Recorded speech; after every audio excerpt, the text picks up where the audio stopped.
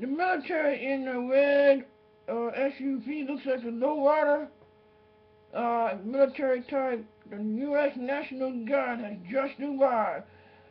Because I didn't put up adoption uh, request for anybody and the Illuminati. I mean, all the women who want to marry, be wives, or, you know, whatever the mistress is and whatnot stuff to protect me from the, the Mabusa. Okay? Alright? So, uh, yeah, they just sold it at 10.08. Just right now, just a little while ago. They came for the adoption papers. So anybody who wants to put up for adoption, you get out the U.S. National Guard. I'll holler.